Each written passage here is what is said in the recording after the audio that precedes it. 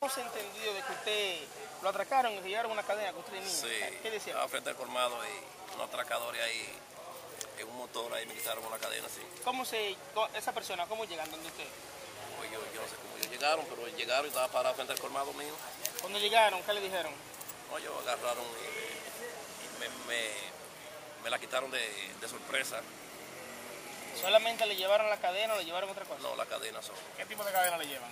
La cadena tiene una cadena en alabo, en oro 18, eh, 14, pero tiene algunos 44, 45 gramos. Estamos hablando, estamos hablando de una cadena de 60 mil pesos.